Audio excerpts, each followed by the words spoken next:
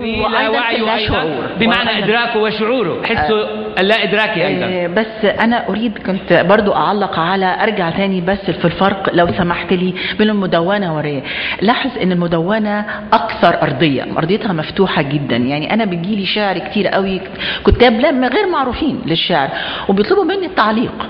فهنا التواصل اللي نقدر نقول ممكن في الرواية لما أقراها مش كل الناس ما عنديش الأرضية أو الفرشة لأن الإنترنت هنا بيساعد. النقطة الثانية إنه كمان بيعمل شبكة. يعني في مصر شبكة المرأة العربية. عملية التشبيك دي ما تحدث يمكن الروايات لو إلا إذا نشرت حضرتك قلتي لي ممكن تشوفي روايتك رواية على الإنترنت. فأنا عايزة أقول إنه هنا يمكن الإنترنت بيدي للمدونة بعد قاعدة أكبر وقاعدة للتواصل ودي نقطة مهمة جدا. قاعدة أكبر قاعدة للتواصل اللي لازم أعلق. بين الناس. آه. أيوه. لكن التأثير وهنا التأثير أعتقد إنه بس التأثير قوي لأنه أنا برضو بشوف التأثير لكن قوي. كيف بنقيس تأثير الرواية؟ زي ما قالت الحقيقة سنابل وإنه ممكن رواية معينة بتخاطب تجربتي أو أزمتي فمش بالضرورة كل اللي بيوصل لي من المدونة بيخاطب ده. سؤال أيضا لكم هل غياب الحرية في العالم العربي هل غياب الحرية في العالم العربي الحرية للتعبير الحرية لإعطاء الرأي الحرية في نقاش القضايا كما هي كما تشخص هي على أرض الواقع أحد مسببات هذا النهوض الروائي الجديد؟ دكتورة؟ أنا أوافق لأن أنا ده اللي قلته لما قلت في الرواية. واو آه، غياب الحرية. هل هربنا إلى الروايه لأنه في غياب للحرية وعم بنعالج القضايا. ولما بنروح ولما بنروح على السجن بنقول يا عمي روايه هذه كذبة هذه مش حقيقة. هذا هذا مجرد خيال. دكتور شفيق صح؟ غياب ولا أنا غلطان؟ لا مش غلطان. لا. لو كان الروائي أساسا شخص تافه وما له فعالية وتفعيل بهذا المجتمع ليش يسجن؟ وليش يوقف على الحدود وما يجي يحضر مؤتمر مثل هيدا. معناتها إنه الرواية عم, عم. تغير. بس عم بتغير بس عم كمان تمشي تحت الرادار ولا طيب تمشي تحت الرادار إلى حد تحت ما. الرادار حسب الدول اليوم خلص ما بقى في حدود يعني طيب. آه روزا يمكن مغلقة في سوريا ولكن كل العالم بيعرفوها بالعالم العربي خليني بس أحكي عن الحرية إنه الإنسان اللي مش حر أكيد ما رح يعرف حاله لا غلطان ولا صح لأنه أساسا ما عم يتصرف من تلقاء اذا الحرية شرط للمعرفة. شرط أساسي لكي يخطئ آه. ويتحمل مسؤوليته أو لكي يكون صح. والرواية عم تزداد تعبيرا عن غياب الحرية والرواية الأوسع. نفس الشيء. الرواية التي تكتب في أجواء معتمة. هو الكتابة موجودة موجودة. سرد الرواية سرد الحكاية كله نعم. موجود. ولكن إلى أي مدى هذه الرواية؟ بتكون ناضجة ناضجة وتؤدي دورة في المجتمع وتغير القارئ. هذا مرتبط بمدى حرية الكاتب. مدى حرية الكاتب. Okay. طيب عندك ملاحظة؟ تفضلي. صوت. هو يمكن. Okay. آه، بال sessions اللي مرت خلال هاليومين حكينا إنه الإبداع بيحتاج لمساحة من الاستقلالية والحرية. ولكن بالنسبة لي الإبداع الروائي بعتبره أنا المفتاح للاستقلالية والحرية في وطننا العربي. آه، بالنسبة لي كمان الرواية آه، طريق أو أسلوب من أساليب الصراع بالمجتمع للتغيير من التغيير الأفضل. من خلال طرح الأسئلة أو حتى طرح الالتباس بحياة الناس لأنه إحنا ما عم نعرف إنه مشكله بس ما بنعرف وينها.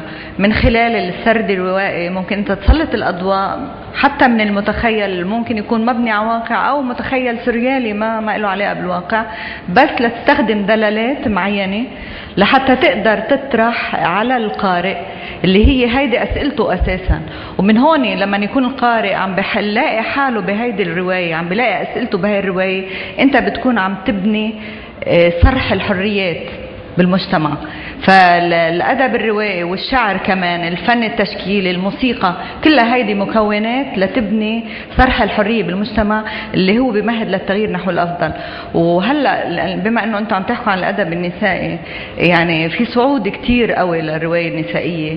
والرواية النسائية مش بس عم تتصدى لتابو الجسد والجنس والدين كمان عم تتصدى لتابو السياسي اللي كان ممنوع عن المرأة إنها تعطي رأيها بالسياسة وبقرار المجتمع شو بدنا نعمل بهيدي المرحلة كيف بدنا نتقدم.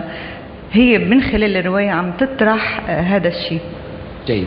سجا آه، أنا بس بدي أضيف على هذا الموضوع. آه، موضوع الحريات. أنا بشوف إنه حتى الروائية آه، لما عم تكتب فيها في تمييز. بعيدا عن موضوع مساواة بين الرجل والمرأة بس في فعلا تمييز. موضوع إنه هاي روائية عم تكتب وإنه رجل روائي عم يكتب.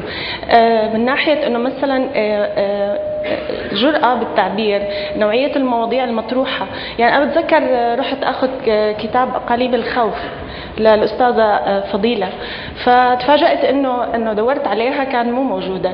فتعبت وأنا أدور عليها. لما لقيتها كان عنده فضول صاحب المكتبة إنه يقرأها. لما قرأها إجي بيقول لي كثير جريئة كيف عم تكتب بهالأسلوب الجريء؟ بينما الجرأة أكبر بالرواية نعم. من نعم. الكتابات السياسية الفلسفية الاجتماعية اللي, اللي عم نقرأها. أكيد لأنها مرأة. بينما لو هو رجل كان عادي عدى الكتاب من عنده مع أنه هو مثقف صاحب مكتبة بس كثير شاف الموضوع كبير أنه روائية سيدة عم تكتب بهاي الطريقة. وبدي أشير إلى كمان في رواية آه، آه، مزاج مراهقة. أنا كثير حبيتها وخبرت الأستاذة فضيلة بالموضوع. آه، كيف أنه بطلة الرواية كيف تمردت على واقعها؟ كيف حاولت تتغير. كيف أجبرت على أنها تلبس الحجاب بس عشان تروح للجامعة؟ بعدين اكتشفت بعد ما راحت للجامعة أنه هي لازم صار عندها وعي بحقوقها أكثر وأنها لا يعني مش مقتنعة عشان تلبس الحجاب عشان ترضي عائلة والدها. فقررت أنه تخلع الحجاب. فموضوع الجرأة بالكتاب يعني في تمييز. أسعد كمان بدي سارة جايكي بدي الفت النظر كمان لشغلة موجودة كثير بالواقع العربي، الروايه نوعا ما صارت امتياز، مش مين ما كان قادر ينشر رواية. لو مهما كانت جيدة راح عن دور النشر. دور النشر في احتكار يعني الأسماء الكبيرة فيها تنشر مرة ثانية وثالثة ورابعة. وحتى لو كان ما بيرتقي للمستوى الأول كتبته الاسم زبياع مثل ما بيقولوا بالسوق. بينما الأشخاص يلي هن عم يكتبوا روايات جديدة هن عم بيعانوا من مشاكل بطريقة النشر. أحدى النماذج هو كتاب بنات الرياض.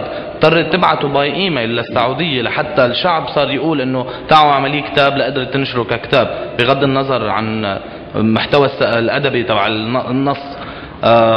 فعنا عنا حقيقة مشكلة بالقدرة على نشر الرواية وهون المشكلة تابعة لدور النشر وهون بتتحمل هي المسؤولية. يمكن كرمال هيك لجأ الشباب بمعظمه للتدوين لأنه التدوين مجاني وسرعة اتصال وغيره. بس أنا في عندي سؤال بدي أسأله الروائيتين الكريمتين اللي معنا هون.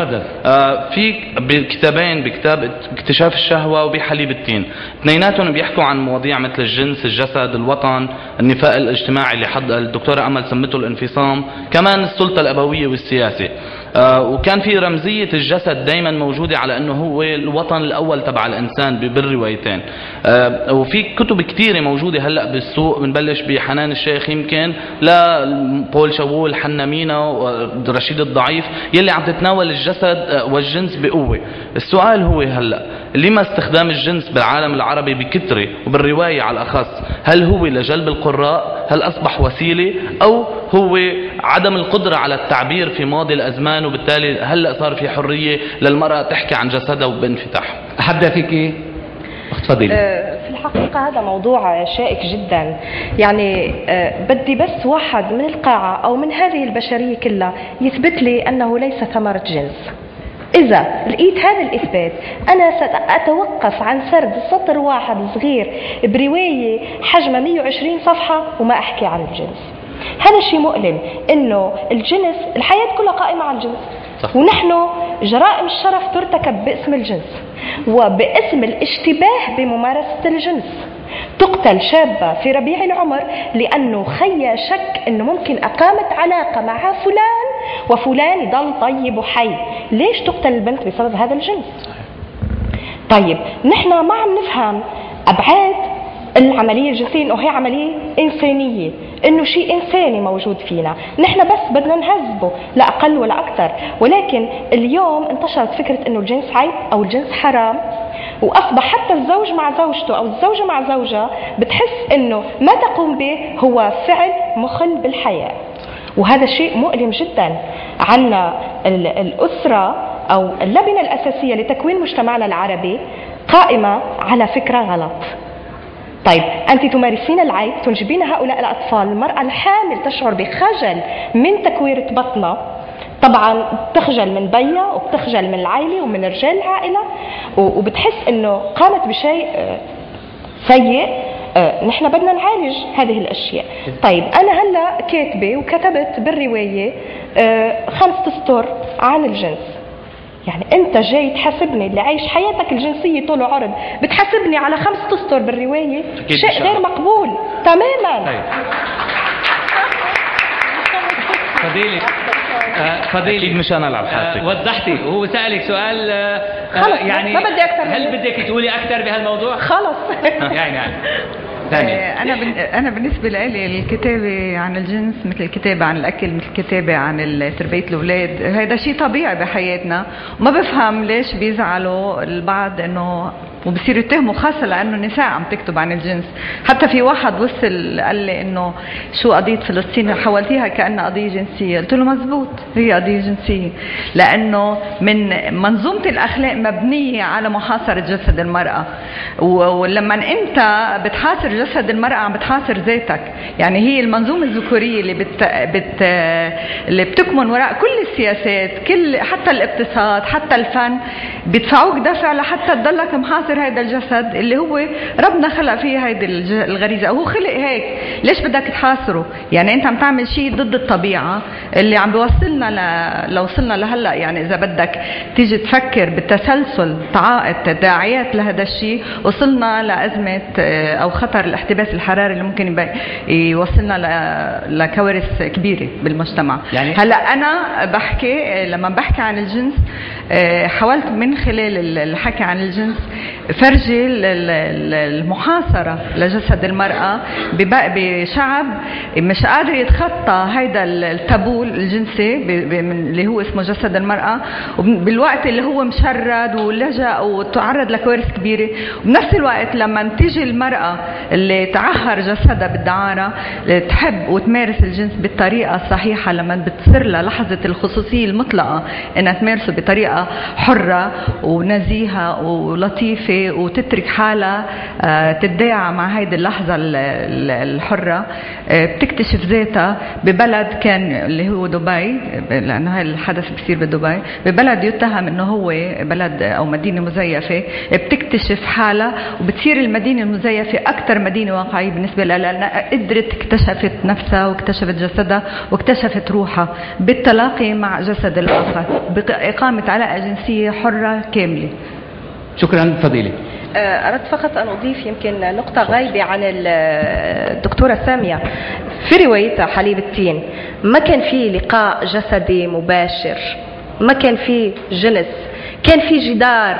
جدار. فاصل بين نعم. المرأة والرجل ولكن شوف بالمخيم كله ما أزعج أهل المخيم أنه ليه هذه المرأة تدخل إلى دورة المياه هذه وتمارس شيئا مع جسدها لكي تتمتع أو ت- تشعر بنوع من المتعة يعني كان حتى ما كان في جنس ولكن ما يشبه الجنس دكتورة هدى؟ يعني نقطة هنا أنا لما سمعت حضراتكم يعني فيها آه، ال- ال- المفهوم الجديد دلوقتي للمساواة هي إن يكون للمرأة سلطان على جسدها.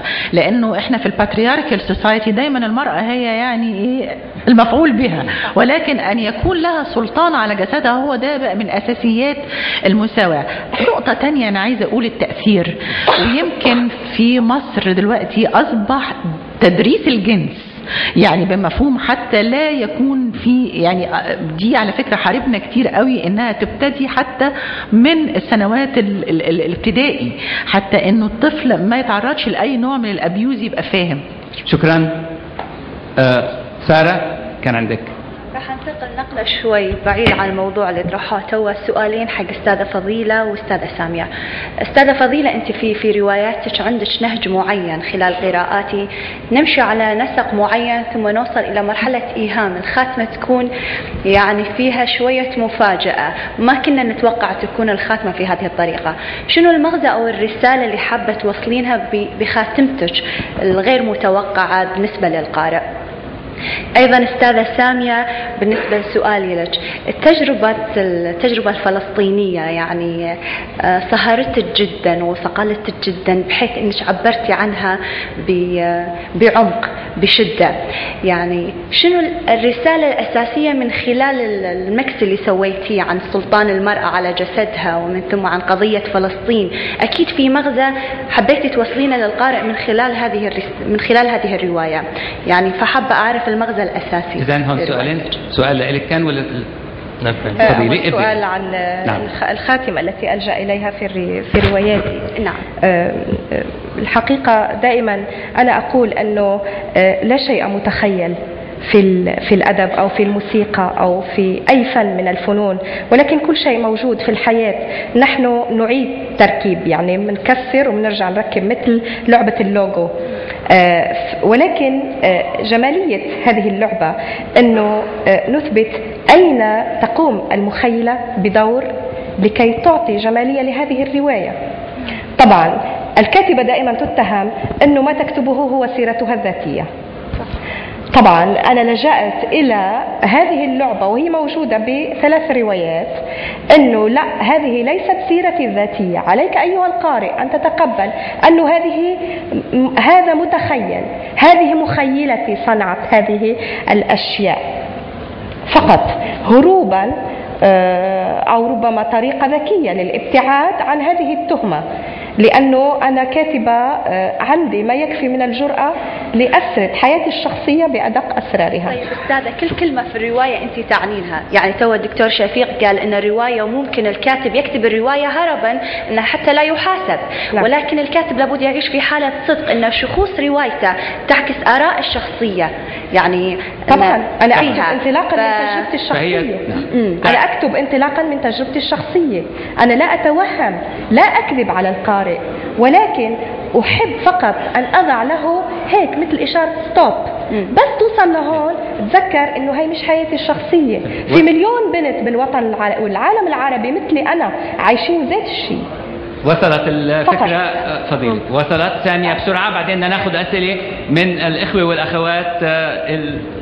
آه، بصراحة نعم. المغزى من روايتي يمكن في عدة مغازي بس المغزى الرئيسي هو إعلان وضع إنه وين وصلنا بقضية اللاجئين الفلسطينيين اللي طردوا من بلادهم سنة 48 واللي طبلوا زمروا العرب والمجتمع الدولي وفي ضجيج كثير حول التضامن مع هذا الشعب الفلسطيني بالوقت اللي نحن هون بلبنان. الشعب الاشاعه والنور بنمر على طريق المطار. ما بنعرف إنه في ناس عم بتعاني أقرب لمعاناة يعني تحولوا ل يعني خسروا